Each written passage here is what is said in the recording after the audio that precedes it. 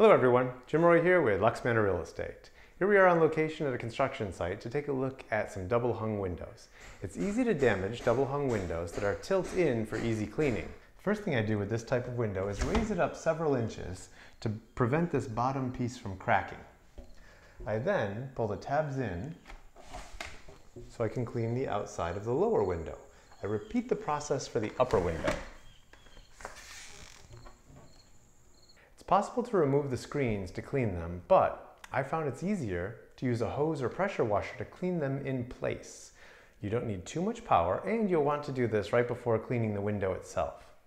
It's great to do this before putting your home on the market for sale. You'll be surprised as to how much more light is let in to a home with good window and screen cleaning and how much dirt has accumulated. Some people wonder what these clips do. They're child safety locks, so a child can't open the window past a certain point. They're not designed to keep your home safe, but a child won't be able to pass through there. If you like the quality and efficiency of this video, contact a LuxManor Realtor the next time you're ready to buy or sell a home.